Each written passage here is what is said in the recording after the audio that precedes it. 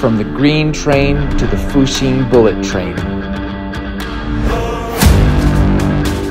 From 30 kilometers an hour to 350 kilometers an hour. From high demand tickets to instant departures.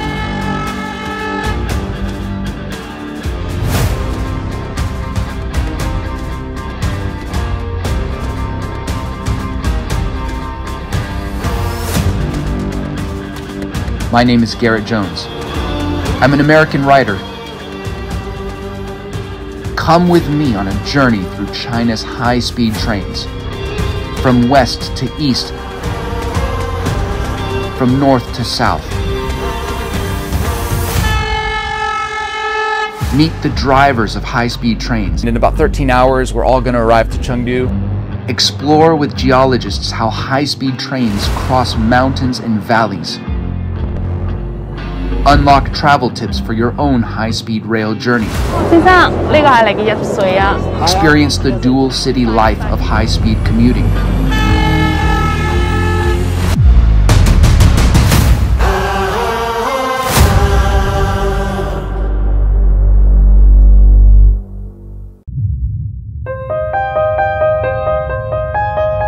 In the southwest heartland of China lie two supercities, Chengdu and Chongqing. Separated by less than 300 kilometers as the crow flies, these cities were historically divided by rugged mountains. Yet the two cities have never stopped communicating. Today, with the rail travel time between them reduced from 13 hours to just one hour, generations of Chinese railway workers have created a magical portal between these two cities. Today, let's follow in their footsteps and embark on a remarkable journey through time and space.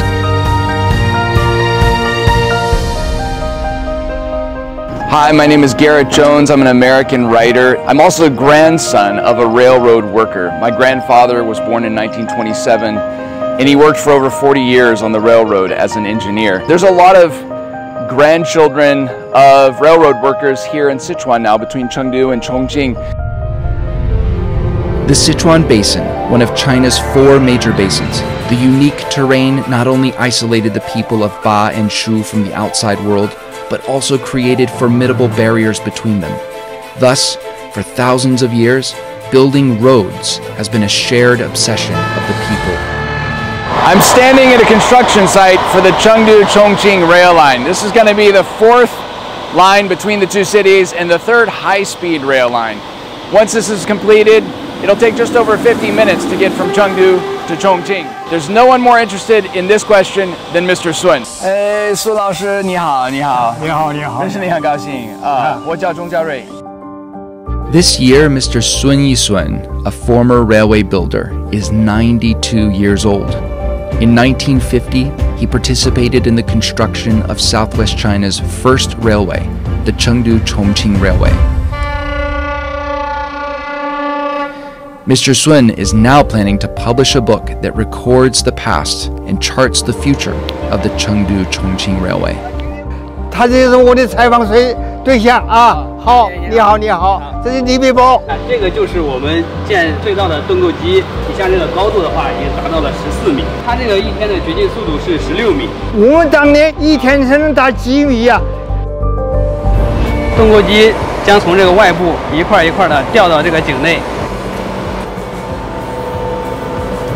我第一次看到啊，就像天坑一样啊！呃，我们当时不可能有登沟机，我们是人工用铁锤、呃钢钎打，不能和今天比了。The challenge of overcoming spatial barriers has always been the most prominent issue between these two cities. From perilous waterways and rugged ancient roads to narrow and winding highways, it took thousands of years to shorten the distance in time between the two cities from half a month to one week. And finally, in 1952, with the sound of a train whistle, Chengdu and Chongqing achieved a new level of connectivity. 这个你们想不到，他跟我有关系吧？十七岁。 十七岁。啊，这是五五零年的时候。五零年的时候，我我这是我爸爸刚刚出生。四川人、重庆人他对路特别有感情，是。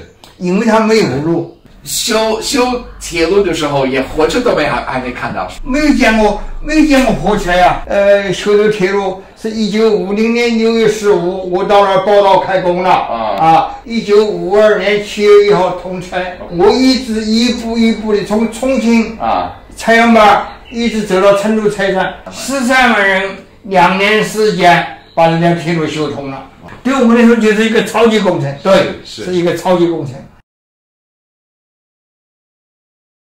The Chengdu Chongqing Railway was the first railway independently designed and built after the founding of the People's Republic of China. In that era, there were little to no funds. Railway workers made use of local materials, and residents along the route donated money and supplies to the workers. Without the use of modern technology, they had to develop their own railway construction standards.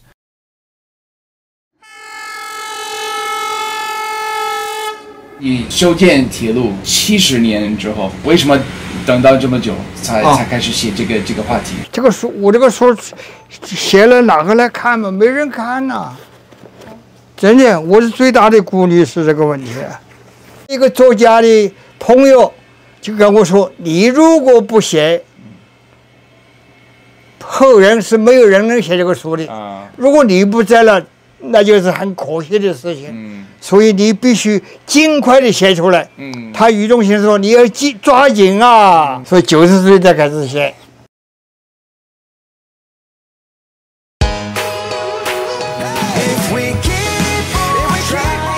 这是这是上面这是站台，需不需要关上？不要 So this in Chinese is called the Liu Pi Zhe. Everyone switched over to the high-speed train now, but some people still like to go down memory lane and, and ride this or go on. The, it's a slow train, but it's the last pair along this line.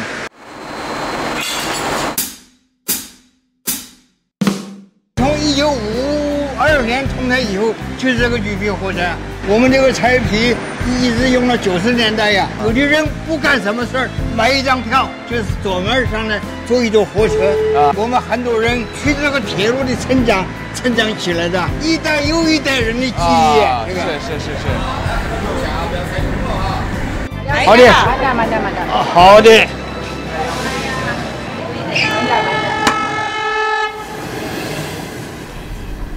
卖菜呀，就那些。你学什么呢？你看嘛非常初级。背单词是吗？Good morning，你拉上。我只干了呃什么东西的？大家好，大家辛苦哇了，大家辛苦了。以前我们也是四川人，到贵州罗湖了，修铁路。呃，他是赚了很大一个铁路经济，他的父辈就在这儿修啊。The swaying carriages carried diverse lives.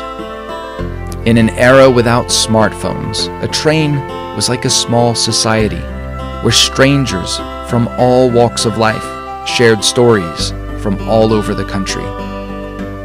The train carried the hopes of students pursuing their dreams, the resilience of migrant workers, the ambitions of entrepreneurs, and the warmth of those eager to return home. The green trains were slow enough to give them all enough time to tell each other their life stories. 这就是你们修的这啊这，当年这座桥。啊啊，这个桥啊哇哦！啊。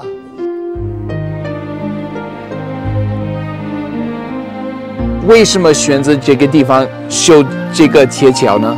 整个这个线路是什么？要靠这个镇 啊，把这个镇的经济带动起来。当时是一片荒凉，一片农田，都没有这些房子啊。就是铁路有了，也就有人家了，是啊吧？就兴旺起来了。是是铁路带动了他们呢。孩子可以去上学，啊啊，对。以打工，对对对，是这样的，是这样的。城乡交流、物资交流、人员往来，必须通过这个道路。我觉得很安静，没有一个咔咔咔咔咔咔咔的那个声音，对吗？这是我的青春呐、啊！你的青春在、啊，青春在这儿啊！啊，对对对，真的，我的青春就不在了，跟着钢轨的震路的声音就不在了。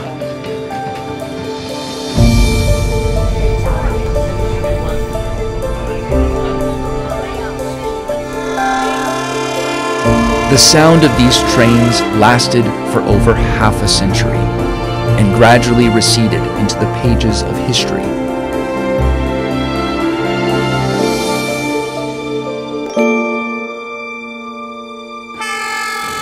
China was moving into a new era. People wanted an even faster mode of travel. They yearned for speed. And especially when the holidays came around, this desire grew even stronger. Today is June 5th, five days before the Chinese traditional festival Duanwujie or Dragon Boat Festival. And it's almost 5 o'clock in the morning, and we're at this train depot in Chengdu to catch the trains going to work. So about 4 to 5 in the morning every day, they start heading to work.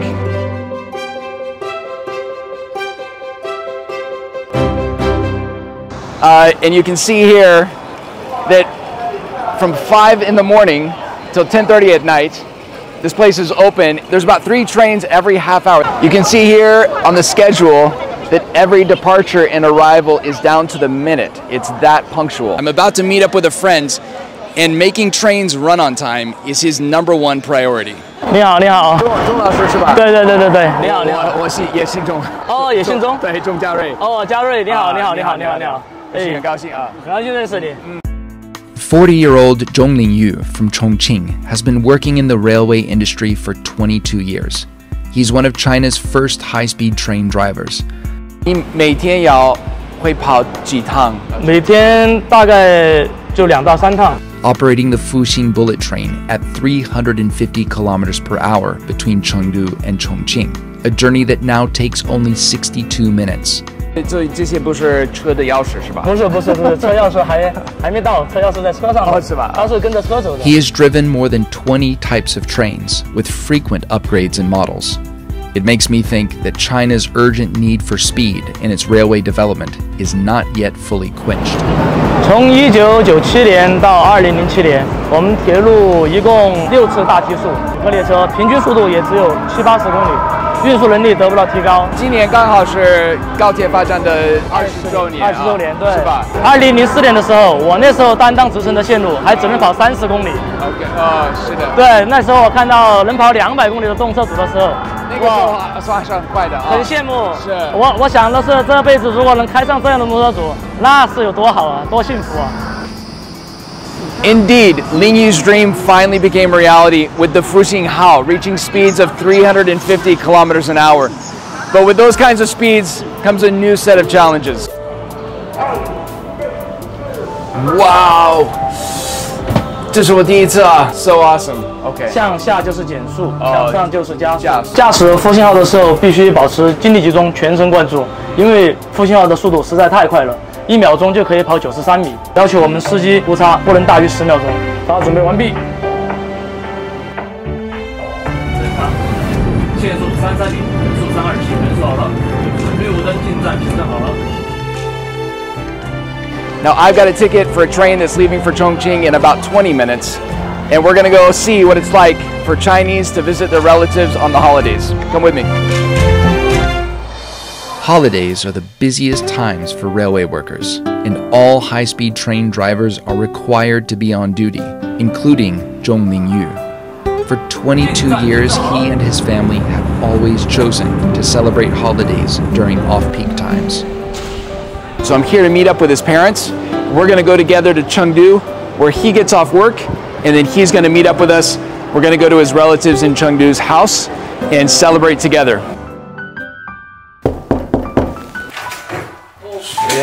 Hello hello，你好，我是钟林玉的朋友。钟林玉的父亲端午节要到了噻，啊，我们准备回次老家。我们一会儿可能就要出发了。哎，我到菜市场了。The Chengdu Chongqing High Speed Railway connects Chengdu, an international city, a poet's dreamland, 买买的时候，你来炒回锅肉哈。好嘛，好。and a center of technology and innovation. With Chongqing,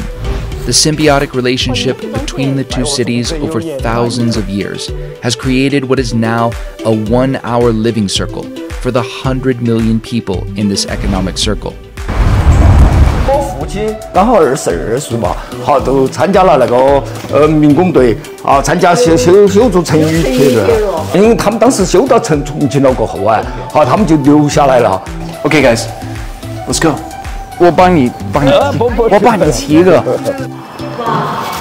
快点，马上。俄罗斯。啊，今天是我儿子在走那辆车，我正好坐我儿子车到成都去。我们当时回一趟成都的话，就是说从晚上八点钟要到第二天早晨六点钟才能够到成都。有一趟慢车是要开十六个小时，现在就不一样了，现在两一个小时就可以走过 去就可以到了。最早的蒸汽机车，好，现在都进博物馆了。好，现在的三百五十公里，我就说是安个翅膀儿可以飞起来了。您到那个出站口等我一下，我去推个成就过来找你们。没走标速二去了，走走走。我们是一家人，是啊家人，都姓钟啊。就今年就交给你了。我之前我就知道端午节是一个划龙舟对对对，划龙舟还有吃吃粽子的一一个节日。对对，但其实这个这个习俗没有听说过。This is my first time uh, to celebrate Dragon Boat Festival in a Chinese Chinese family's home. Okay. All right. 哦，Oh yeah. 很香，好丰富啊！你们是兄弟姊妹吗？还是是兄弟，是表兄弟？哦，知道了啊。妈妈妹妹的，哦，我是姐姐的孩子，他是妹妹的。哦，你们重庆的这里有三位是吧？还有成都的有三位，但是你们是一家人。It's safe to say that every Chengdu resident has a few relatives in Chongqing, and every Chongqing resident has a few friends in Chengdu. Chengdu and Chongqing have become each other's second hometown.